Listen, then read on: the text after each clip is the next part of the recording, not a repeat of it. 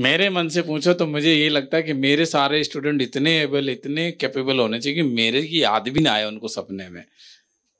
मैं अंदर से मन से कह रहा हूँ। क्योंकि तभी ज़्यादा अच्छा लगेगा। खैर आगे बढ़ते हैं। Doctor Mateen sir. हमारे सर जो है एक कॉलेज में पढ़ाते भी हैं। रिपोर्टरी के प्रोफेसर हैं। उम्मीद है कि उन्होंने हमें जांचा परखा होगा। क्योंकि जो लोग कहीं टीचिंग नहीं करते, वो लोग तो जो दे वही होता है, परंतु जो टीचिंग लेवल का आदमी होता है, वो एक चीज़ें देखता है, उसकी एक परख बनती है। तो उस परख में हम कहाँ तक पहुँचे हैं, क्या मिला है सच में उन्हें कुछ भी, उससे कुछ लाभ हुआ है कि नहीं? डॉक्टर मदीन सर को सुनेंगे इसके बाद।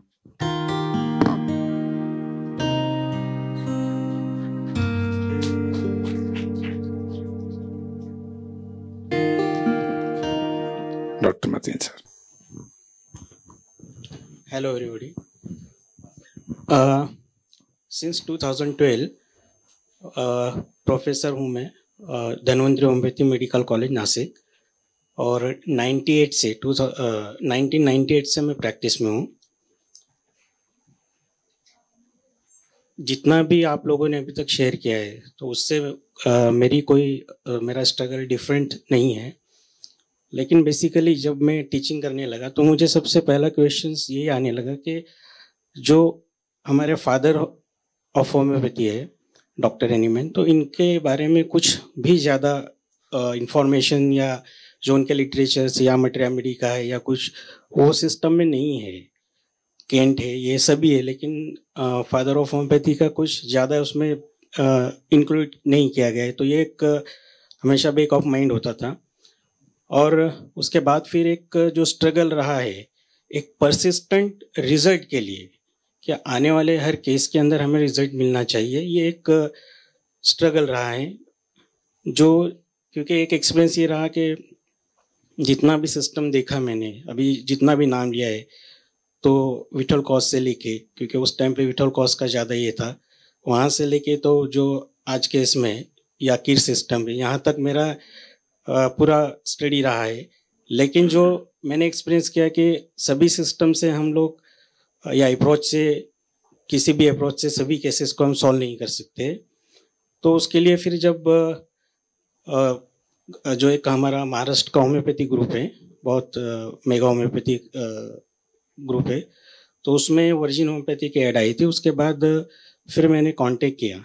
तो डॉक्टर निधि इनसे मेरी बात हुई थी लगभग दो साल पहले, और उसके बाद फिर मैंने ये कोर्स ज्वाइन किया। कोर्स ज्वाइन करने के पीछे भी और कुछ ये थी कि मेरी जो वाइफ है वो बी एम एस है, और जैसे कि हम लोग केस लेते थे तो देखते थे कि मेंटल सिम्टम्स ये हो और बहुत से टाइम ट्रबल ये होता था कि इतना लेने के बाद भी हमें जो रिज़ल्ट चाहिए वो नहीं मिलता था, और वहाँ फ्रस्ट्रेशन क्रिएट होता था। तो मेरी वाइफ मुझे हमेशा बोलती थी कि आपके इसमें ऐसा सिस्टम नहीं है कि सिर्फ़ फ़िज़िकल कंप्लेंट या जो चीफ कंप्लेंट है उसके पे हम बहुत अच्छे से प्रिस्क्राइब कर सके।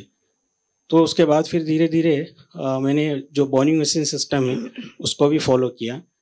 लेकिन फिर भी ट्रबल बहुत सारी जो है रिज़ल्ट को लेकर के रिकरेंस है, और भी ऐसी चीज़ें ये वो होने लगी। और फिर जब मैंने वर्म ज्वाइन किया तो उसके बाद धीरे धीरे क्योंकि मैडम से मैंने बात किया था, क्योंकि जो शंकर सिस्टम या ये सब में, जैसे सर ने बताया कि स्टार्टिंग में तो देते अच्छा दिखाते हैं।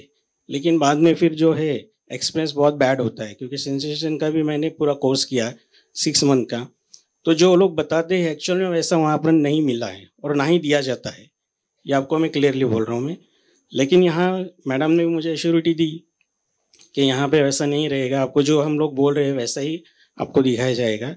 और फिर धीरे धीरे कोर्स कंप्लीट हुआ। तो इस कोर्स में आ, सर से भी मतलब मैं क्लियरली कहूँ तो कुछ मुझे नया मिला ऐसा मैं नहीं कहूँगा। सर ने वही दिया हमें जो ऑलरेडी पता था, लेकिन जो एक कॉमन सेंस की सर ने बात कही, कि वो कॉमन सेंस हमारे पास नहीं था। हम उसको फिलोसॉफी देख रहे थे साइंस ही समझ रहे थे। वो चीज़ वो डेवलप हुई। और सबसे मेन जो माइज़म माइज़म का जो मिस इंटरप्रिटेशन हुआ है, वो सब क्लियर हुआ। और माइज़म को कैसे यूज़ करना है, ये डेफिनेटली बहुत ही इम्पोर्टेंट फैक्ट और टूल जो हमें पता होकर भी हम कभी यूज़ नहीं करते थे तो उसका लर्निंग बहुत अच्छा मिला है। और आज भी मैं उसको प्रैक्टिस में यूज़ कर रहा हूँ डे बाय डे उसको फ़िल्टर कर रहा हूँ। तो ये मेरा एक्सपीरियंस है कि सर ने जो बोला, क्योंकि जैसे अदर सिस्टम में हमको बताया जाता है कि इसको, इस टाइप के सिस्टम को सिम्टम को ज़्यादा इंपॉर्टेंस देना है या उस टाइप के सिम्टम्स को। तो वहाँ पे हमको जो फेलोरिटी ज़्यादा मिली है, लेकिन जब से मैं ये कर रहा हूँ, तब से डेफिनेटली आपकी तरह मेरा एक्सपीरियंस है कि रिज़ल्ट बहुत अच्छे आ रहे हैं। और ये कि फैक्टर ऐसा है कि जिसके लिए मैं सर का और जो हैनीवन सिस्टम है वर्जिनोपैथी इनका जितना भी थैंक्स करूँ उतना कम रहेगा।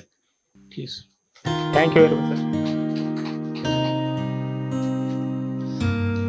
actual में जब तक घोड़े का कोई मतलब नहीं घोड़े पे बैठने का भी कोई मतलब नहीं जब तक उसको सही से नियंत्रण करना नहीं आता नहीं तो हम खुद को भी चोट पहुंचाएँगे और अपने आसपास वालों को भी जहाँ जहाँ घोड़ा लेके जाएँगे।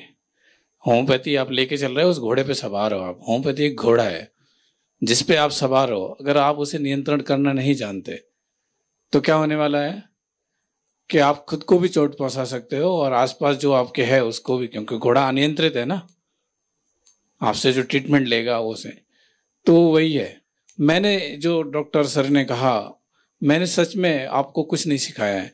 घोड़ा पहले से ही था हनीमन सर बना के गए थे। उस घोड़े पे बैठना और उसे नियंत्रित करना सीखने के लिए मैंने कहा, इतनी सी बात है।